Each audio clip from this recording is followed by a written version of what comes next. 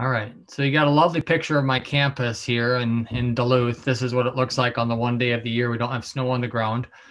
Um, uh, how many of you guys have been to the University of Minnesota Duluth campus? One, see, two, one, couple. Yeah, my, brother went there for three years. Oh, cool. Um, so we're going to talk about, I, I'd like to give a little bit of an introduction about myself just because I know a few of you, but not all of you. And I always hate it when people are talking and they don't introduce themselves. So give a little bit of background information about who I am and who I am not. Um, so I'm going to talk about conspiracy theories today, but my actual education is in, in engineering. And so I'm not going to pretend that I'm ultra qualified on the subject of conspiracy theories. It's just something that I spend quite a bit of time uh, engaging people with off and on. And um, certainly in engineering, there's a lot of critical thinking involved and um, have to sort through a lot of data. That's part of our job. Uh, so um, that's the background that I'm coming from. My bachelor's and master's degrees are in mechanical engineering. And then, as we said earlier on, I went on late in life, which I don't recommend for you all. Um, it's not the best move to go get your PhD when you're 40 um, and have a, a, wife and kids and a job that you're trying to do, but um, was able to make it through that. And then the, the, the real reason for doing that is so that I could teach at the university, and that's what I'm doing now. So I'm currently an assistant professor in civil engineering, um, but I also do a lot of work with mechanical engineering department at the university as well. And then this last year, I was promoted to director of our brand new advanced materials center there. And I'll show you a picture of that in a minute. Um, but prior to all of the education uh, work now, I'm, I have a lot of engineering experience. I worked with Will, um, one of the best employees at Novatech Engineering. I don't know, Will, are you still at Novatech or no? Yes, yes. All right. You um, laugh. So he, um, I, I, I, worked at Novatech for a short period of time, wasn't there real long, but I've had a number of different jobs and currently still operate my engineering consulting business, Crossroads Engineering Services, and I live in Emily, Minnesota. Anybody know where Emily is? Small nope. little town north of Brainerd. Um, kind of, if you've heard of Crosby, if anybody likes mountain biking, Crosby are the best trails. I'm about uh, 12 miles north of Crosby I became a teacher, I just thought you might want to see a little bit of my history. My grandfather was probably my biggest influence on my life. Uh, this is a photograph of him in um, the Korean War. And uh, he wrote, took this picture. I love my grandpa. He took this picture and put a self timer on the back, uh, uh, or put a self timer on his camera. Um, and then wrote on the back of the picture, uh, How can anyone hate them? For a stick of gum, she thinks I'm the swellest guy in the world. And then he writes how he took the picture, which I always got a kick out of. So anyway, that's my grandfather. He he traveled all around the world speaking at various uh, groups. Um, he is a really inspirational person to me. So um, uh, he was very passionate about education. Uh, one of his claim to fame, by the way, is he was. Um, I'm just going to give you a quick tangent here, so uh, bear with me. But he was um, traveling over in in Europe when he went to the the we to have the the uh, World's Fair. I don't know if they do that anymore, but he was at this World's Fair in Europe and um, was very very discouraged by the fact um, he was there as a participant, but also um, he was with the military and was asked to go to this World World's Fair and check things out, and he was so embarrassed by the United States. Um, pavilion that they had there. We just had a horrible display compared to other countries, and he was just embarrassed so much so that he he sent a telegram to uh, Dwight Eisenhower, uh, President Eisenhower, and complained about it. And he got a response back almost immediately and saying said we are going to resolve this issue. I'm sending someone over. I'd like you to mentor him and be with him and, and show him how bad we are as the, a country and what we need to do to improve. Well, the person that he sent over was none other than Walt Disney. And so my grandfather was a, a, personal tour guide for Walt Disney at this Brussels World Fair. And one of the things my grandfather was doing there was um, speaking, and um, he was uh, co-teaching a course with um, a physics professor. And uh, and this physics professor was like to use a bunch of analogies and illustrations and was kind of really dynamic. And my grandpa said you know i think this is one thing that walt might like. So he brought walt over to his his physics show and said you got to check this guy out. You'll like him. And um, anyway, that guy became the inspiration for the Nutty Professor. So um, that was my grandfather's colleague in in at the Brussels World Fair. So anyway, very inspirational person in my life the real purpose of my life now are my kids. Um, they're grown, believe it or not. When I used to talk to you guys over in Joppa years ago, these kids were still very, very small. Now my son just got married this summer. That's his beautiful bride on the right, and my beautiful wife with me, and and my son at our wedding, his wedding this summer, which was a very small COVID safe wedding, uh, immediate family only and outdoors. And then that's my daughter. She's a freshman now at uh, Calvin University, where I did my uh, undergraduate. I also have these kids, a bunch of students, and that's really where my passions are at the university. And I get to go into labs with them, but also do a lot of industry work. So, uh, Will, you would appreciate that we're trying to not only um, teach our kids to be good students and uh, excel in academia, but we're really trying to uh, develop a program that's um, reaching out to the industry so that they get some practical knowledge. So, the picture on the right is my students working in one of our um, uh, partners' labs at the university. And then what's been really, really fun is I'm um, advising a number of mechanical engineering design teams. And uh, this is a cool picture. Uh, this photograph on the left is of me when I worked at Toro years ago. Was my first job as an engineer. This was the prototype that I helped develop as a young engineer at Toro and uh, it's an archaic uh, relic now, but it's in their Hall of Fame in their in their hall. So they have it set up there because it really changed the ground for um, I was going to use the groundbreaking pun. It's a little um, walk behind skid steer loader, but it changed changed a lot of um, the industry, and we got a patent on that. The patent just expired a few years ago, so now other product other uh, companies are making similar products. But what's really fun is these are all of my students. So um, we've been doing a lot of design work for them, and I get to bring my students back, and basically they um, show up everything I ever did while I was at Toro. They're taking it way to the next level, and it's been really really fun to to be a part of that process. So that's just a bit of who I am. That's our new material center that we just built that I'm the director of. So, okay, enough about me. Oh, one more slide. So the other thing that I get involved with, and this is kind of where my passion is from a research standpoint, is um, environmental issues and specifically plastics. I've spent a lot of my career dealing with plastics. And one of the things we're trying to do is figure out ways to solve this problem, this plastic waste problem.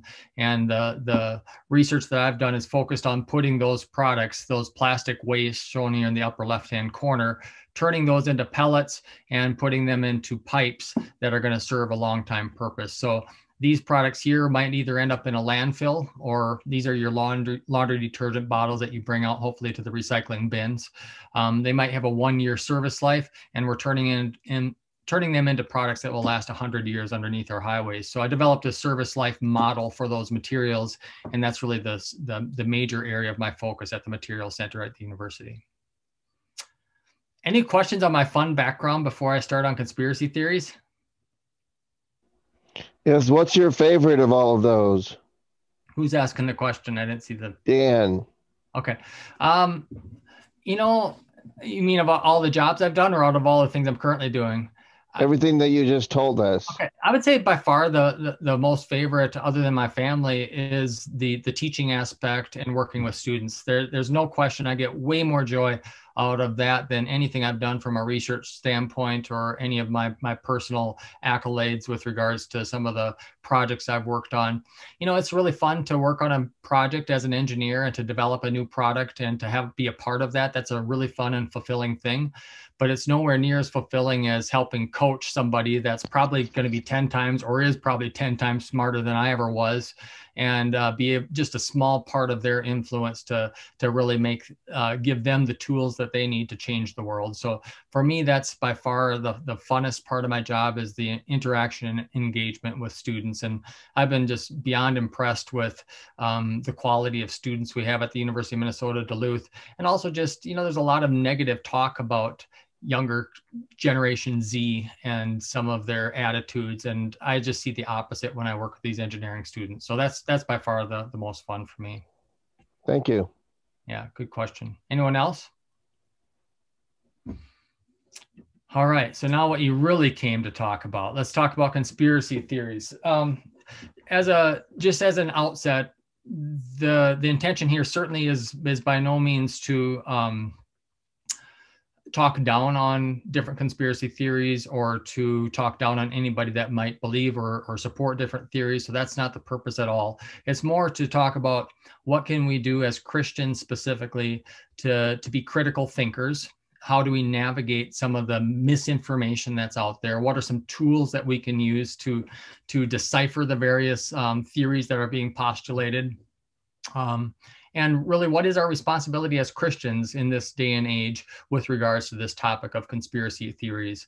I mean these have been around for a long long time. There's multiple different conspiracy theories.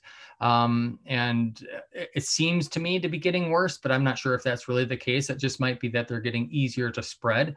Uh, we have more information and information is easier to to circulate with social media and with the internet today. So i think that that exasperates the issues but uh, conspiracy theories have been around for a long long time so we're not going to talk about all of these. You see a, number of them mentioned here. And again, if if some of you want to um, try to convince me uh, that some of these theories are correct, uh, that's fine. We'll have a little bit of time for discussion as we move along. But the primary purpose here again is to kind of just um, talk about how how we can think critically and how we can navigate um, these these somewhat difficult topics. Sound good? Any questions before we dive in? No, I'm looking forward to this. All right. So I've I've got a few guidelines and and again take these. I'm please don't uh, take me wrong here. I'm not trying to come across as an expert on these areas. These are my thoughts. Again, my expertise is engineering, it's teaching. It's not so much um, uh, philosophy, and it's not. Um, I don't. I don't claim to have any degrees or advanced degrees in conspiracy theories, if there was one. Um, but these are some of my thoughts. Uh, but I hope they're useful for for our discussion together today. So I want to just talk about a few different things. So, so some general guidelines um, for discerning truth. Um, three that I'd like to focus on. One is uh, consider the evidence. Two is consider the sources, and three is to consider Occam's razor, which we'll talk about, and I'll give you guys a chance to weigh in on that one. Um, and then I also want to close with some biblical guidelines, and there are four texts that kind of came to mind.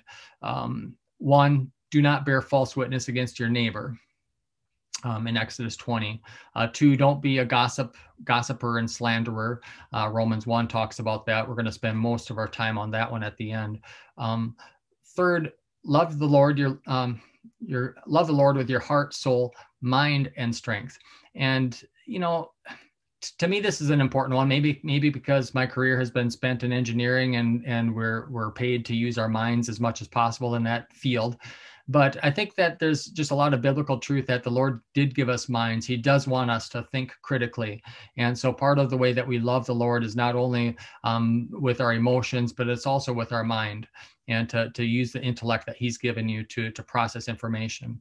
And then, um, not to take this one out of context, uh, but uh, the idea of testing everything, and um, once you test everything, to hold fast to that which is good.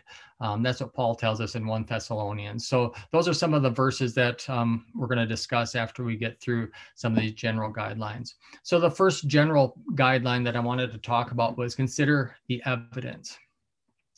So, you know, this is a hard one today because whatever theory we're talking about, there's evidence generally on both sides. But sometimes we need to think about evidence in quotes. What really is the evidence? Um, so we need to be really discerning of the evidence. And just because it was on the internet or just because somebody said this and spread it on social media, that doesn't necessarily mean it's evidence. There's a lot of, we need to do credibility tests. Is that evidence credible? Um, do we have really good reasons to trust it? Does it make sense? Um, are there also other explanations that make sense? So th- those are some of the questions that come to mind that, that we need to ask when we're when we're evaluating different conspiracy theories or just general any general truth. Uh, look for the evidence and weigh the evidence and see see what it says. And we're going to discuss more of this as I go along. So I'm just giving you some high level considerations now before we talk together.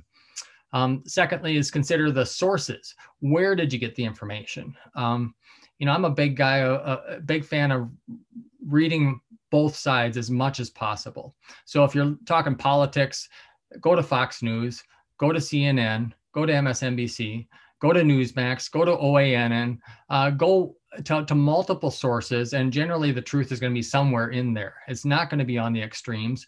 There are various medias bias guides that you can find information that is kind of more central, um, but don't be afraid to, to go to the extremes, but don't only go to the extremes. That's where I think we get ourselves into a lot of trouble. So, so where are your sources and where do they get their information? If you're going to only one of those extremes, what sources are that is that extreme using? Um, so um, in, when I say avoid extremes on both ends, it means don't only sit on those extremes. Go to the other side and, and look for other information. Um, engineers, I think, Will, you would agree, engineers are generally skeptical, I think. I mean, I'm, I've been a skeptic all of my life. So um, I think that that skeptical, uh, a skeptical nature isn't necessarily a bad thing. Uh, but there's a, a point where you can be too skeptical as well. But I think in general, to be skeptical of all information is a good characteristic because that's that's part of testing the truth and um, and testing the different theories. Um, trusting experts. This is an area where I get into a lot of deep discussions now. Is that there seems to be a, a general mistrust of experts, um, a view that experts are biased or that experts are a liberal or that you know even this this happens to me a lot as a professor at the university of minnesota is that well you're you're certainly um you're you must be sold out you must be um you know brainwashed by the by the liberal um uh, liberal media or or whatever because you're at a public university and you're you're you're um, you're you're biased uh, towards the liberal bias, and it's just really not true. Um, you know the the peer review process is pretty pretty intense. And we get as researchers at universities um, we are rewarded for new discoveries. So there's some thought process i think that says well uh, the experts um, you, you can't think outside the box because if you think outside the box your your your ideas are going to get shut down right away that the only thing that will ever get published is the prevailing theories so, for example, people would say, well, a young earth creationist could never get published in a scientific journal because it's so biased against that person that he or she would never be able to publish because there's this bias towards uh, the prevailing theory of evolution, for example. And um, I, I just want to push back on that concept because really we are in the university encouraged more than anyone to to be free thinkers and to really come up with new and innovative ideas. The problem is those new and innovative ideas have to pass a series of very very critical tests. And so to get anything published goes through a very rigorous peer review process and that can be challenging but i don't think it's something that's keeping good or new information out. Rather it's just part of the scientific method and the scientific process of getting information through. And so i would uh, challenge anyone that says you have to be always skeptical of experts because they're just uh, giving you the information that they're you know um, being controlled to give if you will and I just don't think that that's the truth. It certainly hasn't been my experience. We've been more than encouraged in the university to, to develop new and innovative materials and ideas and processes and, and thoughts and theories. Um, but those, those new theories and those new ideas really need to be evaluated very, very carefully. And so um, I think we have good reason to trust the experts. And I think it's also good for, for you as you're reviewing information to see who has reviewed the information that you're receiving. So um, go to published articles, to, to peer reviewed journals if possible to get your information. Um, it's going to be much more healthy than just random facts on the internet. Any questions on that one before I go further? Yeah, it's Dan again. I got a question here. Mm-hmm. Uh, is it possible for someone to be of a sound approach to uh, to the uh, creation and still be old earth but not evolutionist either but old earth creationists. Yeah for sure. like i'd say i'd say the majority of my my christian friends in this field are old earth creationists that would not support um, an evolutionary theory, for example. Um, they would support one of the other theories, um, and, and, I'd be happy to talk about that more detail at another time. Might be a good follow up talk, but um, definitely there's a lot of old Earth uh, creationists that I know that that believe in an old Earth, believe in various, um, you know, that um, the universe is 14.7 billion years old and the Earth is four and a half billion years old, um, but believe that God created everything and that He did so in a in a way that's in in agreement with Genesis one. Um, and there's different theories on how they could. And i, I don't you know frankly at, at, at the university of minnesota for example i would say maybe 30% of the faculty member maybe a little bit less that i engage with on a day-to-day basis are believers christians um, and the majority are not. But um, I have never once felt any persecution or any pushback for uh, my beliefs at that university, uh, whether it's coming from somebody that believes in in God or not. Um, they they allow they, they know where I stand on on issues like creation, and as long as it doesn't interfere with the way I conduct my class or or, or do research, you know, it, it's it's nothing that I've gotten uh, a pushback on. Thank you. Yeah. Any other questions on that? All right, let's spend a little bit of time on Occam. Uh, anybody, um, I, am sure most of you are familiar with this, but somebody give me a, a, a, a review or a, a, paragraph or a sentence or so that would summarize what Occam's razor says. If you hear hoofs, think horses, not zebras. There you go. That's a very good one. Anybody else have a thought? Is this the the the saying that goes, uh, "All things considered, the the the easiest or the most obvious tends yep. to be the right one." Yep. Is that yep. what that means? Yep, okay. exactly. So I've got a couple of videos. I don't think I'll I'll I'll play the first one because it's a funny short one, and then we'll go on to the. Um, I'll skip the other one. I'll just share share it in the link, and you can look it on on your own. But hopefully my sound comes through here. You guys hear that? Okay, it's now painfully. Yeah adults are definitely paving the way for an invasion by the saucer people. You fool! Can't you see it's a massive government conspiracy? Or have they gotten to you too? hey, hey, hey, stop it! Stop it! Why are you guys jumping to such ridiculous conclusions? Haven't you ever heard of Occam's razor? The simplest explanation is probably the correct one. So what's the simplest explanation? I don't know. Maybe they're all reverse vampires and they have to get home before dark.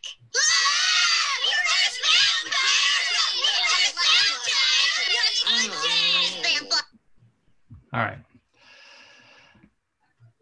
So I have one other video, but again, it's about a five minute one, and I don't want to take the time to show it. But yeah, basically the theory says this, that the uh, all things else, all, all things being equal, the, the best solution is probably the simplest. Um, there's there's been a number of different um, paraphrases of that um, of of Occam, Occam's razor, but in general, that's what it is. And why is it important with regards to conspiracy theories? Well, a lot of times we have to evaluate multiple um, answers or multiple solutions or multiple hypotheses. And uh, the theory of Occam's razor is, it, again, it's not really a, um, a it's a more of a principle. It's not it's not like a, a, law. So there's no no law that this guides, but it's really used in in the scientific method and in in in engineering practice every day. Um, and it's just is is saying that you know the simplest, most elegant solution usually is the best. As Jeff said, um, you know if you if you hear uh, hoof. Uh, what was your phrase, Jeff? Say it again. If you, hear hoofs, uh, think horses, not zebras. Right. Mean, horses are a lot more common and they're a lot more prevalent. And so, likely, what you're hearing is horses, you're not hearing a zebra, even though they would both give the same sound. Um, unless you're maybe in the middle of Africa, you might have reason to believe it's going to be a zebra. So, um, but but a lot of times, conspiracy theorists tend to look for these these far out solutions and in reality there might be a much more elegant and a much uh, simpler solution that that would explain the problem much much easier so as just a couple of examples, one of the projects I work on with my Toro students is this, um, we developed for for for Toro a uh, remote controlled or autonomous uh, vehicle that's uh, supposed to inspect golf courses for divots, uh, which are are um, basically divots are. Um, how many of you guys golf? Not many hands up. I don't see. Divots are formed when you uh, when you hit the ball you usually take out a little bit of turf. So these are simulated divots that i'm circling with my arrow with my pointer. Um, and basically golf courses have issues because they want to fill those divots with sand because they will um, then grow back and you don't want a golf course that's completely torn up with divots. And that's a pretty time consuming process. So uh, one of the things that we developed for them was this this autonomous vehicle that would uh, drive around the golf course and has a camera system built into it that looks for divots. And when it finds one um, it meters a certain amount of sand into the into the divot and we'll move on to the next one. It's basically like a big roomba that's um, going around golf courses. So anyway, why am I bringing this to, this example up? Well, one of the things we often talk about, and Will can attest to this as his engineering design as well, is it's it's pretty important to try to come up with simple solutions that are still elegant and get the job done. But if you can if you can uh, do things that are um, less complex, generally you're better. But we we like to have we start with this brainstorm idea of ideas where you have these really um, elaborate all solutions are are on the table right you throw everything out there and you start slowly funnel those ideas down until you come up with one that is implementable that's practical that'll get the job done and hopefully that's elegant and cost effective and so for example uh, one of the features on this this unit was this this crude smoothing device on the back end of it.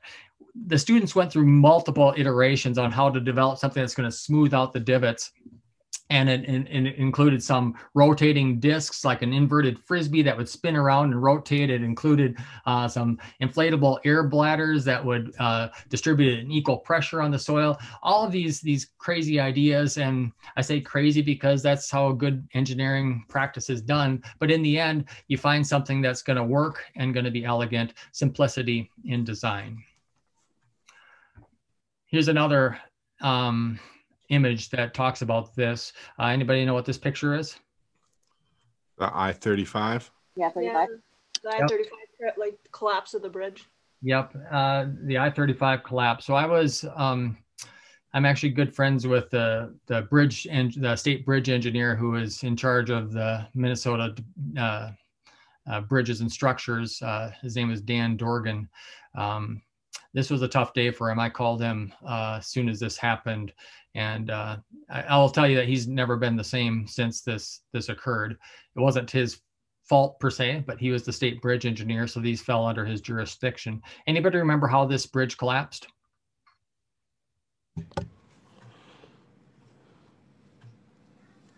No, I was in Austria when it happened. Oh, really? Okay. I guess you wouldn't remember then. There, there was a, a gusset that um, uh, had corroded over time. And so there's actually a few gussets. And in bridge design, we do something uh, called redundancy, where if, if one component on a bridge fails, um, we have a redundant design to ensure that um, the bridge will still be stable. Um, older designs lacked redundancy. And uh, in this case, there was a, a, gusset that had corroded over time, and the inspection criteria really weren't what they should have been on this bridge. And so over time, um, that gusset failed, and it caused a. Um, we had the right lo- traffic loading on the bridge at the uh, perfect storm event, and it caused the thing to collapse. Um, I bring this up because if you if we're gonna, you know, we did a lot of analysis to find out why this bridge collapsed, and you could postulate all kinds of different theories. Ultimately we know that it was down to this gusset but somebody could have said well maybe maybe somebody uh, uh, blew it up or maybe somebody uh, you know painted explosive paint on, onto the bridge and over time they detonated it at, a certain time. Anyway there's there's multiple theories that we could come up with but generally speaking uh, engineering principles are engineering principles and we can trace those those uh, theories back to um, reality and find out what caused it to fail and that's part of the forensic analysis. So again um, these things aren't necessarily that complicated of things to to to find out but in a tragedy mm-hmm. like this everybody wants an explanation. And a lot of times people for some reason gravitate towards those explanations that um, uh, might be more exotic and uh, but certainly don't get us closer to the truth. So let's talk about some of these other theories. Which one of these would you like to talk about? You guys pick Let's go with the most uh, recent one. Voting irregularities. Might as well. All right. so again, there's a lot of theories out there, right, with regards to the election and that there was a fraudulent election, and we've seen some anecdotal evidence, certainly that there has been some fraud. I think there is in every election. Um, we've got uh, allegations against the um, Dominion counters and the the the software that was used. Uh, we have allegations of of vote dumps of you know hundreds of thousands of votes changed. Um, you know, so do we do we give those theories? Uh, how much weight should we give those theories? Or is there a lot of credibility? What would be some of your answers? How would you approach that that one? I, I'm I'm interested in hearing some of your thoughts on this. Uh, yeah, I think that there is something to be said about confirmation bias. We support a, a particular candidate a lot, so we want him to win, and so we see we see the results through that lens. He's got to win. He's got to win, Mm-hmm. and we discount things that go against our what we're looking through our, that lens we're looking through. Right. Is that could that be valid? I think it's extremely valid. Very Mhm. valid. Yeah. Both both and that goes both ways, right? That goes both ways. Yeah.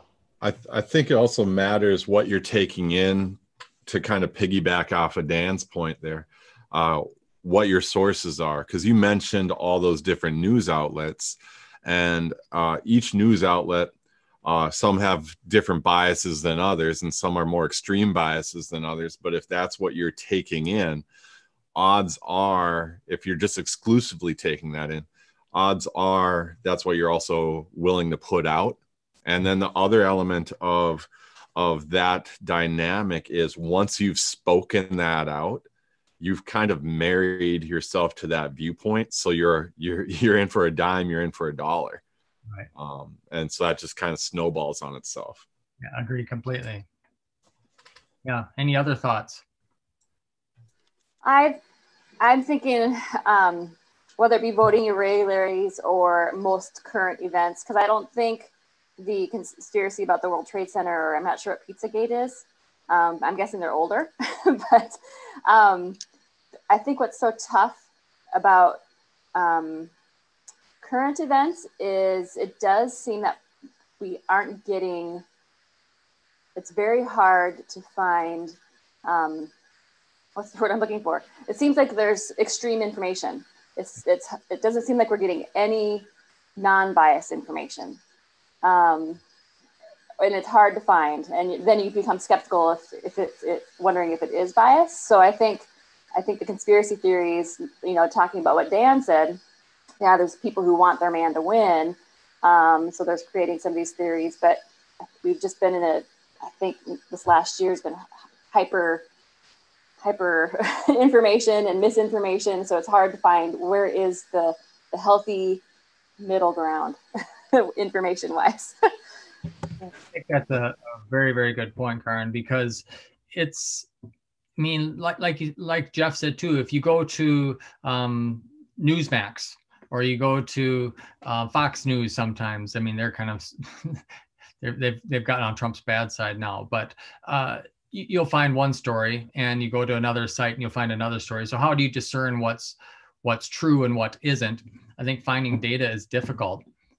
Um, but one of the things I think would I would say is with regards to um, anybody follow what went on in Georgia? in reference to what suitcases Let's talk a little bit. Well, suitcases was one. Let's talk a little bit about Dominion. Dominion is the the uh, the software company that that did the electronic counts, and there was accusations that Dominion had somehow programmed their machines um, to to flip votes and to see, you know, when when a certain number of Trump votes were coming in to flip them to Biden. And there was this accusation that all of Dominion machines then were were compromised, and that this was some wide scale thing that was being done. But when you looked at the data, um, Georgia was a state that used Dominion machines for their electronic counting. Um, but Georgia also then was forced to do a manual recount and then forced to do another electronic recount. And there were some discrepancies, but they weren't at all related to the Dominion machines. They were related to an error in one of the uh, human error in one of the counting situations, and it had zero effect on the outcome of of the the race in Georgia. So so when we hear things like, well, the, all of these Dominion machines are compromised. Um, the one example that they had to really prove this was in Georgia, and it did not prove out. And so, you know, then you start to say, well, we should take that theory maybe with a grain of salt there's another county in, in Michigan now that they're claiming had, uh, you know, 78% or something error rate on their Dominion machines. But again, the data is coming out that that was human error, not Dominion error. And even if it was Dominion error in that case, it was about 4,000 votes out of 150,000 or so that um, decided the election. So, you know, that's part of being discerning, I think, with our information is saying really what is going on. And then the other thing that we talked about earlier is trusting the experts. I mean, I know this is a hard one to do, but honestly, if you've got 60 some lawsuits and multiple courts, even conservative conservative majority courts deciding against fraud and saying that it wasn't on a wide scale basis don't we have to take that with with you know some some sense of security that okay um, this has gone through the system and has been tried and it came out even maybe maybe not in favor of the person that you or i wanted or some people wanted to win but you know don't we still trust that? Do you uh, do you think we just talked about this about a month ago. We had a, a video from brant hansen and he included a verse from uh, proverbs 18 proverbs 18 17 uh, it says the first to speak in court sounds right until cross examination begins. And I, I, think a lot of what's happening with these is um, you get the accusation. It's almost like you get the error in reporting, and then the retraction is so much smaller and so much. It's the headlines on the front page, but the retractions towards the back. You know what I mean? Yeah. And so the first the first testimony you hear is the accusation and the cleanup process isn't as isn't as sexy uh, so it doesn't catch our attention as much. And so when the truth is buried in the cleanup it makes a lot it makes a lot more work for us to discern what's what. Right. I agree with you completely. I think that that's that's that's tough. And we don't get all of the information right? A lot of times we don't even see that follow-up information. You really have to dig. Like i've gone so far as to to actually read the um, a number of the affidavits that have been filed, a number of the um, lawsuits. I've read through the depositions. I've read through, you know, sometimes these are, are a long time and I don't have, frankly, have the time to, to deal with it like I'd like to.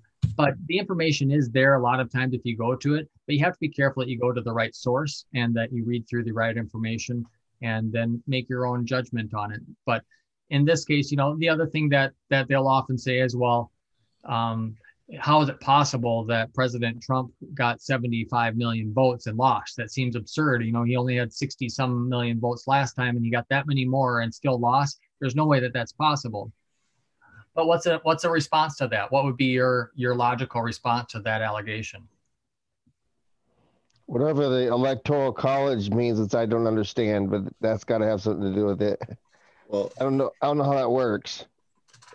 How does that electoral something to do with it? But but I mean, the fact that he got 70 some million votes, isn't it, isn't it also a plausible answer that this election had a greater voter turnout than ever we've had in, in recent history? And wouldn't that make some sense? I mean, let's, let's be honest, regardless of whether you like President Trump or not, um, he was a pretty divisive figure in our, in our country. And there was a lot of people that came out to both to support him and also to overthrow him. So just because he got that many votes, I don't think is good reason to say that he won must have won the election then, um, because we know that voter turnout was much much higher.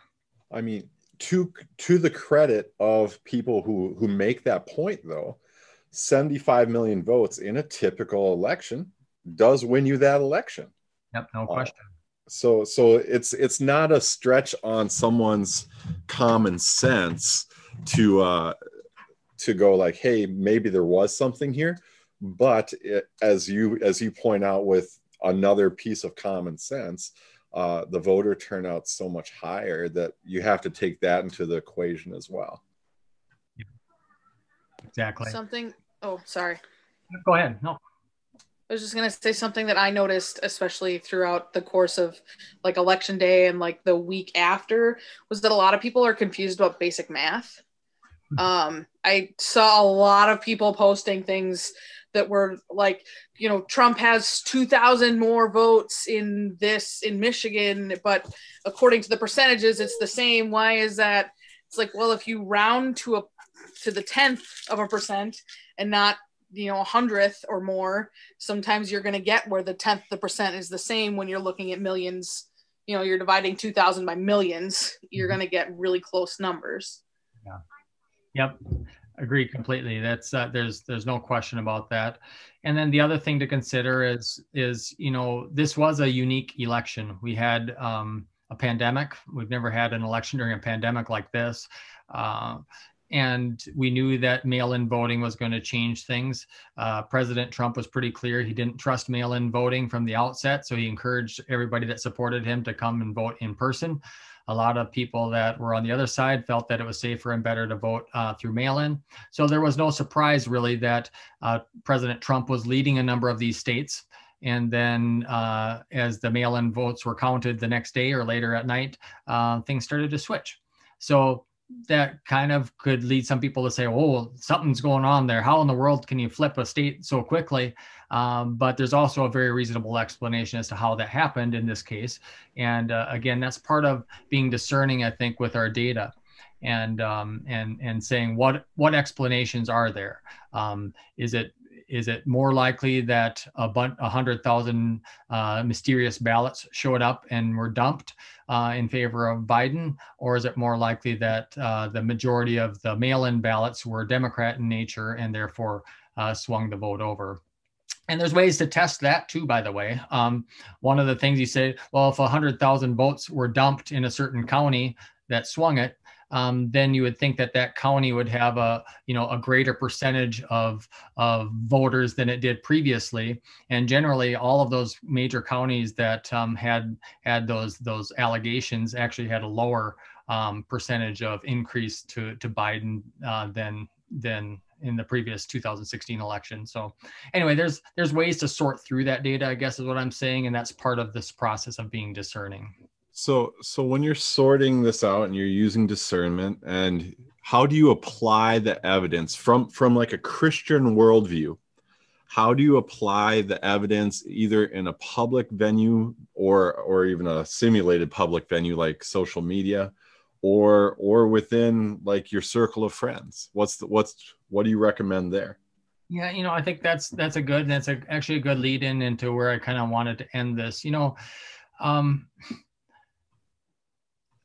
one of the things a lot of people can say well what's what's the harm in some of these conspiracy theories or why you know what what's the big deal? What i think is the the most damaging thing is the fact that um, we're often tearing one another down in the process and we're not really being good examples of our christian influence. Um, so i wanted to draw attention to romans 1 verse 28 through 31 and it's basically a catch-all. You know it says and since they did not see fit to acknowledge god god gave them up to a debased mind to do what ought not to be done. They were filled with all manner of unrighteousness evil covetousness malice. They are full of envy murder strife deceit maliciousness. They are gossips slanderers haters of god insolent haughty boastful inventors of evil disobedient to parents foolish, faithless, heartless, ruthless. That's a pretty exhaustive list. And there's, if, if you know, I see numerous uh, adjectives that jump out at me and say, "Boy, I've done that," or I'm, I'm guilty of that. And um, you know, gossips and slanderers jump out. It's really easy to throw stones and to say this person is evil or this person had, you know, ulterior motives. And this isn't just for the election. This is for other theories too. And Karin, I'm glad you don't know what Pizzagate is. I encourage you not to look into it because it's it's ridiculous. But it, it, you'll see in it's it's much more widespread than you than than anybody would think with regards to the, the promulgation of some of these theories. And it's really easy to say really bad things about people um, accusing them of being part of some nefarious scheme or some some awful evil plan without having sufficient evidence for the allegation. And really, that is not something where I think Christians should be. We should have no part of gossip. We should have no part of slander. We should have no part of saying bad things about people when we don't have evidence, um, sufficient evidence for that. Even if you do have evidence, we should watch our tongues. And so I think that's where we've really gotten into problems, and especially in social media because it's so easy to type nasty comments towards people, other people that have a different viewpoint than us. Um, it's easy to type negative comments towards um, our officials. You know, um, I'm I, will be perfectly honest with you. I'm not a President Trump supporter. I did not vote for him either time.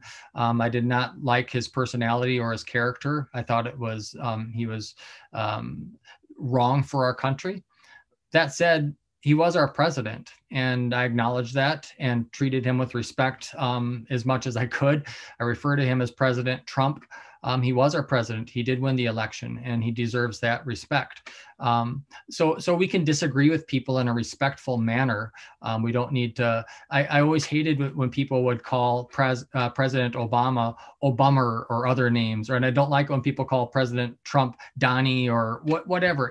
Just be careful with our language as Christians that we're using, and especially as we engage with with um, non Christians. Um, we, we are really the, the the the light is shining bright on us. And it's just so important that we are the the influence in my opinion and the example that we need to be. And so uh, come back to romans 1 28 through 31 as you're trying to engage with people on conspiracy theories and other things and just say am i being uh, a gossiper in this case? Am i being slanderous Am I being haughty? Am I being boastful? I've been accused many times of being boastful, and it's something that I've had to check in in the way I write. Um, I'm generally a fairly confident person, and I think it comes off poorly a lot of times in the way I write. So I re- read and reread what I write many times to say, is this coming across as arrogant? Because uh, that's really not my intent. And even as I'm engaging with you, I hope you're not sensing arrogance because it's really not. It's it's more how can we engage with one another in a meaningful and constructive way? So what are your thoughts? Any any any comments? I know we went a little bit long here and um, we didn't go into depth on a lot of conspiracy theories but uh, I, i'd really like to hear some of your thoughts on this matter. One thing i would like to encourage you guys with and also just kind of warn you guys with um, like Karin mentioned uh, not knowing what Pizzagate was. And that's totally okay that you don't know that stuff. But like, if you start to search this stuff after seeing it, um, especially on YouTube, algorithms will start popping up similar vi- videos. And so don't start going too deep down some of those rabbit trails um, because uh, the sources get a little looser and looser the further you go. Uh, so just be aware that you guard what you're taking in and balance it out. Like, and that's not some boogeyman stuff. Like, that's like legitimately research stuff that I've come across. And man, if you've ever wondered why you, you searched once for something for Christmas and all of a sudden it's all over your Facebook feed, that's algorithms. Um, so just know that if you're doing some research on some of these things, um, there there's some fringe stuff the further down you go that you need to use your discernment with and use some wisdom on. Um, so that that'll be my one cautionary tale behind some of the things we're talking about tonight. I agree completely, Jeff. And it's easy to get sucked in, and it's easy to get sucked in and start reading more and more. And then um, I tell you, there's there's a lot of I mean, some of you may may have read a lot of these conspiracy theories. Some of you maybe believe in a lot of them. Um, if not, I guarantee you that you have friends that are deep into some of this. And um, whether it's the the 9/11 was an inside job, um, I've got multiple friends that swear up and down that we were not under attack. Um, this was something that was our government that that um, that that blew up those buildings. And um, I've I've had people send me hours worth of videos to watch and analyze, and I frankly don't have time to watch all of it. But I generally try to be respectful of people and give them some honest thoughts. So that's one other thing I'll say is if you are approached by somebody with a conspiracy theory that you don't quite know how to decipher and understand, I'd encourage you to to seek out people that either are knowledgeable about that on the other side so that you get some information you'd be surprised how many people i have uh, message me private message me um, on a n- number of these types of topics saying what are your thoughts on this and generally I will give them my thoughts, just what they are, my opinions based on how I would see the data. Um, but that can be a useful tool, and I, I'm more than happy to if if any of you have questions that you want to take offline, shoot me a message, and I'd be more than happy to engage in the discussion. What would you prioritize uh, in in an interaction that has differing views? What what are your priorities entering into a disagreement? We'll say. You know, um, it, it, it's a really good question. I've had, I've got a, a friend of mine who I do triathlons with that is really, um, he's a Christian, he's a believer. So one, I'll preface it that way if the person is a Christian, my response is a lot different than if they're not a Christian. So the the the the way I engage with people is different, and that's because um, I think Christians uh, are are called to hold each other, one another up to a higher standard, and the the we, we're coming from the same background. So um, so I have a, a friend that's a, a, Christian, and he's a, a huge uh, Trump supporter. I haven't quite understood how he can be as much of a supporter as he is, and and I I voted for um, on the other side on this election, and he knew that, and he would go so far as to say that I can't be a Christian and vote for a Democrat uh, over the pro-life issue, for example. And so we've had a lot of I think helpful dialogues. I don't know if we've made a lot of progress, but the, the one theme that I've always tried to do is to to to dialogue in grace. Don't name call don't judge him. I, I try not to judge him or his motives. And I would ask that he doesn't judge mine. I don't like it when people, when he calls me and says, basically implies that I can't be a Christian and believe that. That's, to me, that's a worse attack than anything else. Um, you know, Dr. Francis, I'll, give you one illustration. Um, Dr. Francis Collins is a person that I really like. He's the head of the NIH, um, but he's also a Christian. Um, he happens to believe that God created the world through an evolutionary process and, and, and believes in the evolutionary model. Uh, but he's a born again Christian. He gets under attack on both sides. He gets really attacked by the scientific community because he's very outspoken in his Christian faith. He gets really attacked by the Christian community because he believes in evolution. And uh, I was at a conference one time and they asked him which of those two is worse. And he said, by far the attacks from Christians and it's because they were attacking the, his fundamental Christian faith. He said it's one thing to attack my my scientific beliefs or my scientific knowledge, but to question my faith is hurtful. And I would say the same. So if you're engaging in these discussions with other Christians, be respectful of one another. Everybody's in a different situation. Everybody sees things from a little bit different side. So just be really respectful. And if you're engaging with a non-Christian, I think even more so even more respectful, more grace, know that they're not coming from the same perspective that you are. And so therefore it's even more important to show that grace and to, to really engage in a way that's um, um, gracious towards his or her beliefs and, and, um, and listen, listen more than talk.